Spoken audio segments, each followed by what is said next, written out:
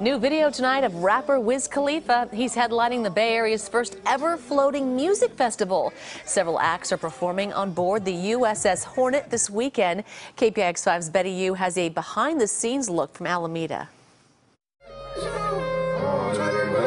They came to dance to their favorite hip hop jams and check out the beautiful San Francisco skyline, all aboard the USS Hornet, a World War II aircraft carrier and permanently docked museum in Alameda. Oh my God, the vibe is so chill. It's so awesome. I'm having so much fun. It's fun. I mean, it's totally different. I've never been on anything like this. It's pretty cool. It's just it's memorable because there's nothing like you never go on a concert on a ship. You never see that. This is the first time the USS Hornet has hosted a music festival.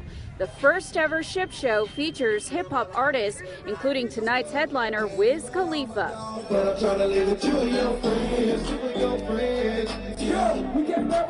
I'm trying to live with you and your friends, you and your friends. Yo, we can never party. Spectrum Entertainment chose this location for a reason. A lot of the young people, uh, they need to be exposed to why we fought in World War II and the history of this ship and the history of them picking up the space capsules and really know uh, that Alameda was a naval base and the history behind it. Um, I was able to fortunate to be able to come here when I was younger. My father served 23 years in the Navy, um, so we want to create awareness. More than 3,000 people attended day one of the festival. Each one walked through part of the ship's museum to get to the deck. As I was walking up, I really liked. I was like, "Oh wow, there's a lot of history here," and uh, I'm, I'm glad that this brought me out here. So now I know that this exists. The festival wraps up tomorrow and will feature more old school hip hop artists, including Wyclef, DMX, and all nine members of the Wu Tang Clan.